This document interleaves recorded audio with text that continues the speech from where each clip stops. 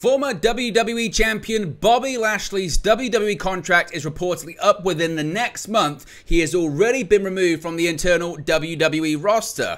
A development on this story is that MVP looks to be on his way out of WWE as well, and according to one report, there is a desire with Lashley and MVP to reunite the Hurt business alongside Shelton Benjamin in All Elite Wrestling. All of the details on that. Plus, there is backstage praise for Hologram after his AEW debut this this past weekend on AEW Collision. Naomichi Marufuji, he faced off against AJ Styles a couple of weeks ago in Pro Wrestling Noah, and he's going to be at WWE SummerSlam later on next month. Kyle Fletcher provides an injury update on Skye Blue after she sustained a legitimate injury, forcing her match to be stopped this past Saturday on Collision. Fuego del Sol, the former AEW star, was reportedly present at this weekend's Ring of Honor TV tapings, plus a Texas death match has been announced for Ring of Honor Death Before Dishonor.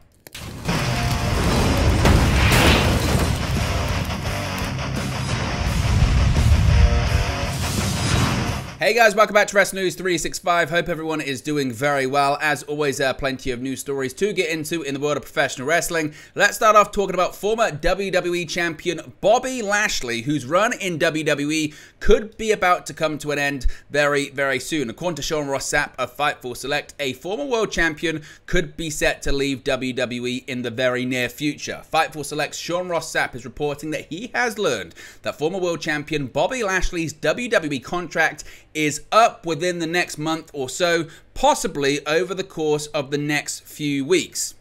Now, PWN is also reporting that they have learned that Lashley was removed from the internal roster page, though he is still featured on the company's website. And Fightful was also able to confirm that news that indeed he has been removed from the internal roster page of WWE. Now, Lashley has been out of action for a number of months, and sources have told Fightful that he plans on continuing wrestling if for some reason an extension is not reached with WWE. Now, Lashley has not been factored into WWE WWE creative plan since the spring. He's wrestled five televised matches this year and won a match at WrestleMania back in Philadelphia in April. Now, though Fightful said they haven't heard of any specific aspirations to continue fighting as of late, Fightful have been told by those close to Lashley that that isn't out of the realm of possibility, and he told Fightful in the past, and a couple of years actually, that if the right situation presented itself, he would fight again. Now, there's a big development on this story, as I mentioned. That was a story that broke late last night, but a development on this is we could see a reunion of the Hurt Business, not in WWE, but in All Elite Wrestling. As I mentioned, Fightful Select reported that Lashley's contract was set to expire and he was going to be leaving the company soon, or possibly leaving the company soon. Now, as previously reported, Lashley's real life friend and former manager, MVP, according to some reports, had also been removed from the company's internal roster page. Now, speaking on Wrestling Observer Radio, Dave Meltzer provided an update noting that Bobby Lashley and MVP are reportedly on their way out of WWE and looking to reunite with Shelton Benjamin to reform the Hurt business in AEW. He said, quote, I know there is talk of them trying to get into AEW. It's one of those things where technically nobody can talk to them because I don't believe either's contract has expired, but their contracts are going to expire, and they are at this point. As things stand right now, WWE is under the assumption that they are gone and that they are going to try and revamp the Hurt business. I don't know if they'll use that name or not. I guess it depends on the ownership of the name. They want to get Shelton Benjamin, who's also a free agent, and revamp the group in AEW. Whether this happens or not, it depends on Tony Khan, but it's definitely something that is under consideration. I don't think it's a done deal or anything like that, but it is something that is alive. But as of right now, Bobby Lashley and MVP are both going to be gone from WWE when their contract expires, which is relatively soon. So MVP's also been reacting to comments on social media as well. He actually uh, made some comments in a post on Instagram, seemingly referencing all of this talk on social media about him right now, where he shared that he was attending Fury Fighting Championships in Houston with his son. He said, quote, I am in the best of spirits. I love you all. Don't worry about me. I'm just fine. He also captioned the post, quote, all is well over here. Thanks for the love.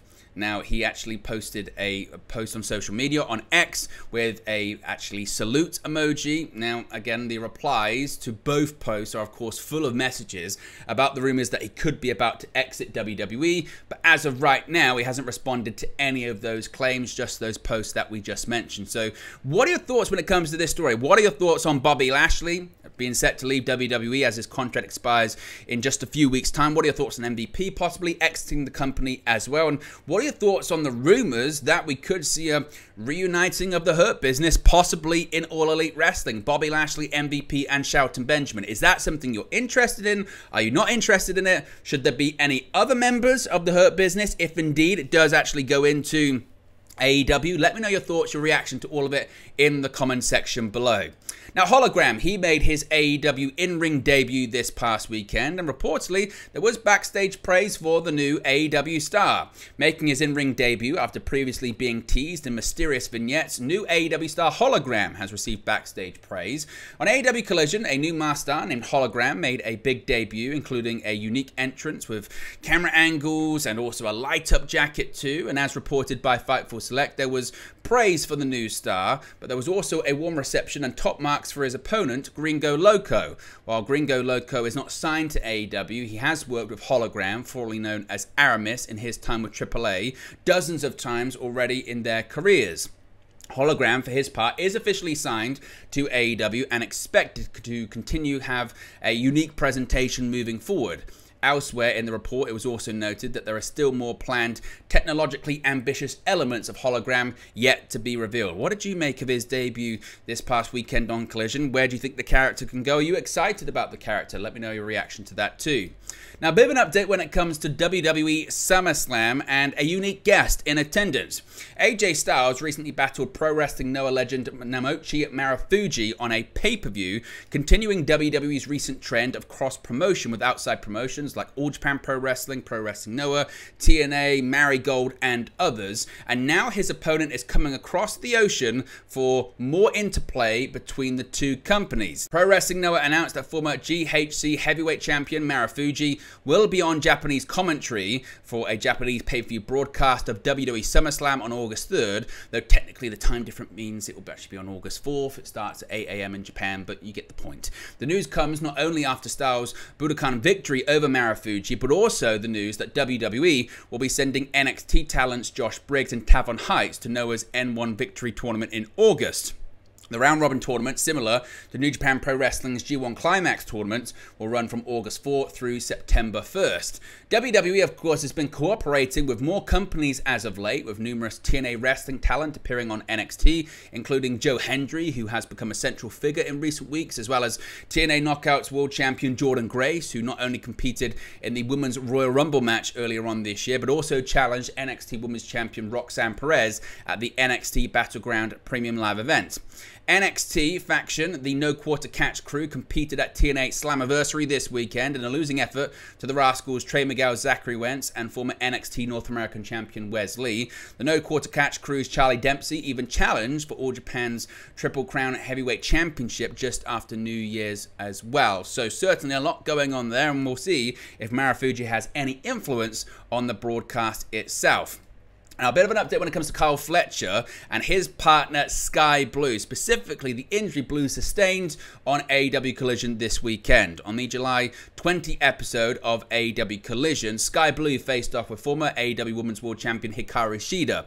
Unfortunately, this match ended prematurely as Blue suffered a legitimate ankle injury while taking a crossbody from Shida. As a result, Shida was declared the winner by a referee stoppage less than 24 hours after Blue sustained her injury. Her real-life boyfriend Kyle Fletcher has now provided an update on her status. He said, quote, We got her home, Dr. Kyle on the clock. Fletcher wrote on X alongside a photo of a middle finger flipping Blue. In addition to her white cowboy hat, Blue can also be seen wearing a heavily wrapped cast on her right ankle. There is no word on how long Blue will be out of action for with her injury, but luckily it appears she'll have the added support of Fletcher along her recovery, however long it may be. We get any more details on that, of course, we'll let you know in an upcoming video. Now, Fuego del Sol, is he back in the AEW family? Well, maybe a little bit, at least temporarily. Former AEW star Fuego del Sol featured at a recent Ring of Honor television taping a year after his spell with AEW ended. The upcoming ROH on Honor Club show in Arlington, Texas, set to air on July 25th, 2024, was taped on July 20, 2024, where Del Sol returned in a 10-man tag team match. The former AEW star teamed with Komander, Top Flight's Darius and Dante Martin, and Action Andretti and faced the team of Nick Comoroto, Anthony Henry, and Jacked Jameson, Boulder, and Bronson of the Iron Savages. The match is the first time that Del Sol has wrestled on Ring of Honor. Del Sol, who joined AEW in 2020, had a three-year run with the promotion where he primarily featured on AEW Dark and AEW Rampage, and only wrestled twice on AEW Dynamite and never on Collision. Since his AEW exit, he has wrestled in GCW and Rev Pro, aside from several independent pro wrestling promotions.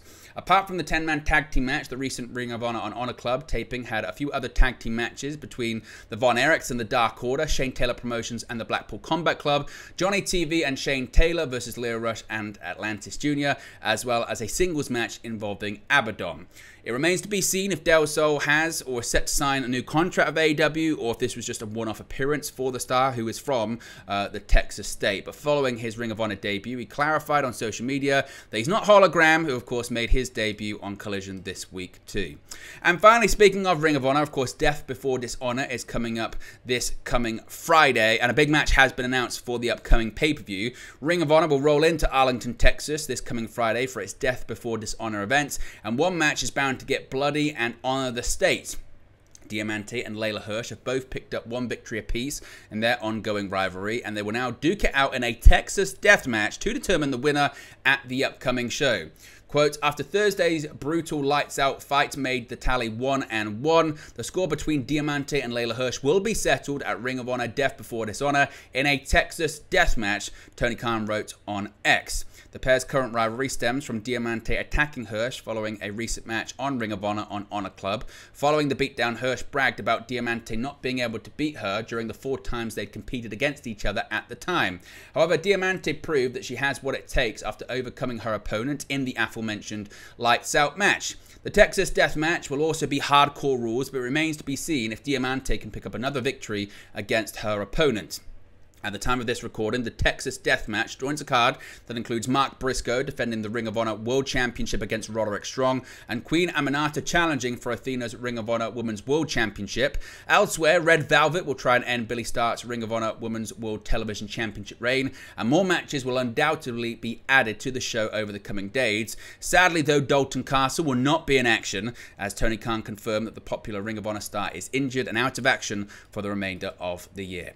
But there you go, guys. Latest pro wrestling news for you. Be sure to smash a like on the like button. Be sure to subscribe, bottom right hand corner. As always, let me know your thoughts in the comment section below, and I'll speak to you again very, very soon. Hey guys, thank you for watching, listening, streaming, or however you come across this video today. Be sure to click on the video on the right there to watch our next video, or click the bottom there to subscribe, or the bottom right hand corner. Thank you very much, and I'll speak to you again very soon.